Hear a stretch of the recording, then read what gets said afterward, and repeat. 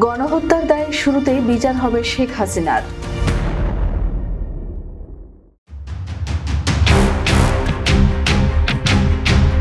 ছাত্র জনতার আন্দোলন ঠেকাতে হত্যা, গণহত্যার মতো মানবতা বিরোধী অপরাধের অভিযোগে করা মামলার বিচার আনুষ্ঠানিক শিগগির শুরু হতে যাচ্ছে।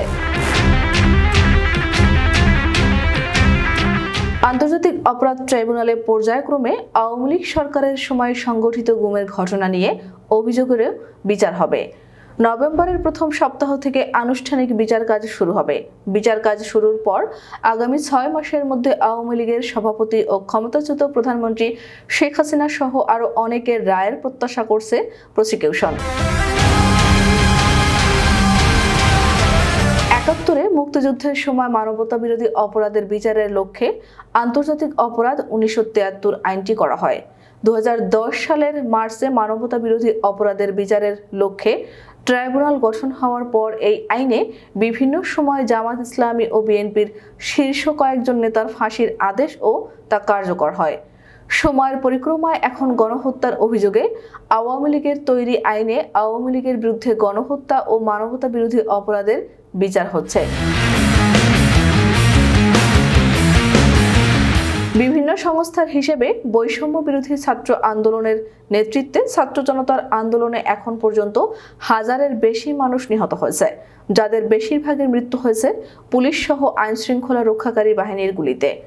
আহত হয়েছেন বিশ হাজারের বেশি মানুষ। আহতদের অনেকেই চিরতরে পঙ্গু হয়েছেন। এর মধ্যে ট্রাইব্যুনালের তদন্ত সংস্থা অন্তত একশো জন আহত ব্যক্তির জবানবন্দি নিয়েছে। আহত আরও অনেকের জবানবন্দি নেওয়া হবে। তাদের সবাইকে সাক্ষী হিসেবে অন্তর্ভুক্ত করা হবে। একই সঙ্গে সাক্ষ্য দেবেন নিহতদের স্বজন ও প্রত্যক্ষদর্শীরা। গুরুত্বপূর্ণ সাক্ষ্য হিসেবে বিবেচনায় নেওয়া হবে ঘটনার সময়ের ভিডিও, হত্যাকাণ্ডের পরিকল্পনা ও নির্দেশনার আসামিদের মধ্যে অডিও রেকর্ড। ছাত্র জনতার অভ্যুত্থানের মুখে গত পাঁচ অগস্ট আওয়ামী লীগ সরকারের পতনের পর গণহত্যার অভিযোগ তোলা হয় এবং বিচার শুরুর উদ্যোগ নেওয়া হয়। হাইকোর্টের অতিরিক্ত বিচারপতি মোহাম্মদ গোলাম মর্তুজা মজুমদারকে চেয়ারম্যান করে ট্রাইব্যুনালের বিচারিক প্যানেল সহ প্রসিকিউশন ও তদন্ত সংস্থাও পুনর্গঠন করা হয়। গত বুধবার পর্যন্ত প্রসিকিউশন ও তদন্ত সংস্থায় একশোটির মতো অভিযোগ জমা হয়েছে। এর মধ্যে নব্বইটির মতো অভিযোগ গণহত্যা ও মানবতা বিরোধী অপরাধের। ট্রাইব্যুনালের তদন্ত সংস্থার প্রাথমিক তদন্তের পরিপ্রেক্ষিতে গত সতেরো অক্টোবর আওয়ামী লীগের সভাপতি ও ক্ষমতাচ্যুত প্রধানমন্ত্রী শেখ হাসিনা, আওয়ামী লীগের সাধারণ সম্পাদক ও সাবেক সেতুমন্ত্রী ওবায়দুল কাদের, কয়েকজন সাবেক মন্ত্রী, প্রতিমন্ত্রী, পুলিশের কয়েকজন সাবেক শীর্ষ কর্মকর্তা সহ ছেচল্লিশ জনের বিরুদ্ধে গ্রেফতারি পরোয়ানা জারির মাধ্যমে বিচারের প্রাথমিক প্রক্রিয়া শুরু হয়। গ্রেফতারি পরোয়ানা এরই মধ্যে পুলিশের মহাপরিদর্শকের কাছে পাঠানো হয়েছে। আন্তর্জাতিক অপরাধ ট্রাইব্যুনালের চিফ প্রসিকিউটর মোহাম্মদ তাজুল ইসলাম গণমাধ্যমকে বলেন, প্রতিটি ঘটনাতে মূল কারণ সাবেক প্রধানমন্ত্রী শেখ হাসিনা। তার একদলীয় স্বৈর শাসন বা পারিবারিক শাসনকে টিকিয়ে রাখার জন্য এ গণহত্যার ঘটনা ঘটেছে। বিশেষ করে শীর্ষ আসামি যারা আছেন, তাদের বিচার দ্রুততম সময়ের মধ্যে শেষ করার চেষ্টা করব। তদন্ত প্রতিবেদন প্রস্তুত হলে ছয় মাসের মধ্যে দুই একটা মামলার বিচার একটা পর্যায়ে নিয়ে যাওয়ার চেষ্টা থাকবে। তিনি আরও বলেন, গুমের অভিযোগগুলোর আলাদা তদন্ত হবে। তবে এই মুহূর্তে প্রধান অগ্রাধিকার গণহত্যার বিচার। পাশাপাশি গুমের অভিযোগের তদন্ত সহসাই শুরু হবে। আইনের কিছু সংশোধনের কাজ চলছে। সংশোধনী হলেই বিচার কাজটা সহজ হয়ে যাবে।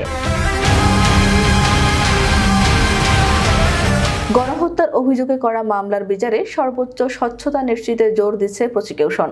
এ লক্ষ্যে আসামিদের আইনানুযায়ী যত রকমের সুবিধা দেওয়া যায়, তত সুবিধা নিশ্চিত করে বিচার কাজ হবে বলে জানান প্রসিকিউটররা। ইতোমধ্যে আইন ও বিচার উপদেষ্টা ডক্টর আসিফ নজরুল বিভিন্ন সময় ট্রাইব্যুনালে বিচার কাজের স্বচ্ছতা নিশ্চিতের বিষয়টি গুরুত্ব দিয়েছেন। এ লক্ষ্যে আসামিদের পক্ষে বিদেশি আইনজীবী নিয়োগ, বিদেশি পর্যবেক্ষকদের বিচার কাজ পর্যবেক্ষণের সুযোগ সহ শুনানি ইলেকট্রনিক মাধ্যমে সরাসরি সম্প্রচারের ব্যবস্থা রাখা হতে পারে। এছাড়া ট্রাইব্যুনালের বিচার কাজের ভিডিও, স্ট্রিমিং বা অডিও ভিজুয়াল রেকর্ডিংয়ের সুযোগ রাখা হতে পারে সংশোধিত আইনে।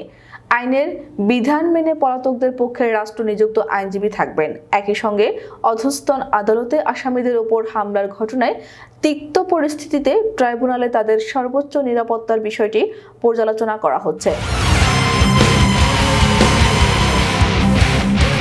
অ্যাডভোকেট তাজুল ইসলাম বলেন, বিচারক যদি সঠিকভাবে বিচার কাজ না করেন, তাহলে ন্যায় বিচার হবে না। অতীতে এখানে ও সুপ্রিম কোর্টে ন্যায় বিচার হয়নি। এবার সর্বোচ্চ ন্যায় বিচার নিশ্চিত করা হবে।